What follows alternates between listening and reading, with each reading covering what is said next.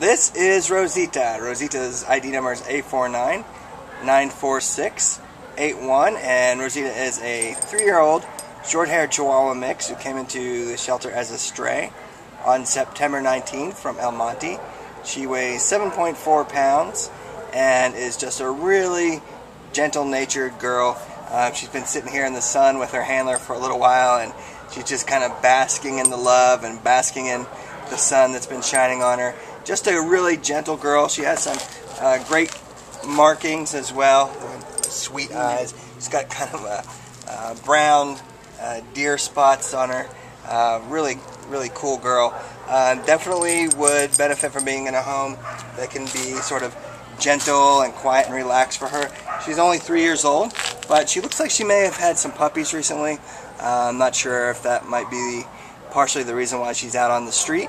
Um, they got rid of the puppies and her together or, or what her story might be, but um, definitely is a dog that would do better in a home than a shelter environment, as all dogs are, but um, her gentle nature just really speaks to uh, getting into a home where the pace is a little, a lot different and loving. Um, what else can you tell us about Rosita? She walks good on leash and uh, she's good with other dogs because she's in a kennel with three other dogs, small dogs. And she was kind of sleeping off on the on the side. And then the other dogs came to me and then she got up and then she started coming towards me towards the other side.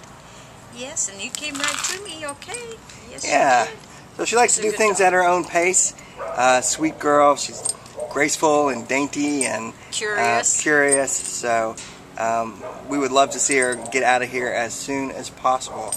Um, she's looking around right now, just trying to check out the scene. But come on down, meet Rosita. She is at the Baldwin Park Shelter, and she's ready to go home today.